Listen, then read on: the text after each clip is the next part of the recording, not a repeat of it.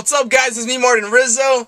So I was on the internet and I saw this video of Justin Bieber throwing up on stage in Arizona when he was in concert, man.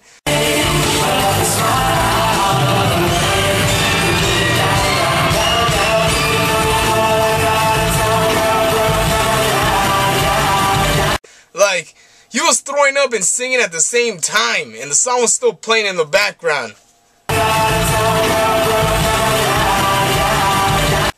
Didn't throw up on the audience, you know? At least he had the courtesy to turn around and throw up on the stage, you know? Imagine, Justin, we love you! Ugh, ugh, carrots! Now that's what I call Bieber fever. You should have wore a condom, man. People probably thought he was doing dubstep when he was throwing up, huh?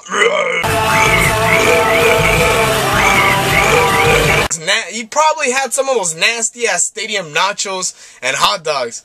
See, those nachos fuck you up, man. I remember I was throwing up out of my butthole and my, my mouth at the same time one time. And what I heard, that he didn't cancel the, the concert at all. He still went through. Like, he's a soldier for reals. He's like those guys at those parties that throws up like three times, and he still keeps drinking and partying all night long, man. Yeah. So yeah, guys, uh, hope you guys like this video. Uh, subscribe and share, and let's see it again one more time.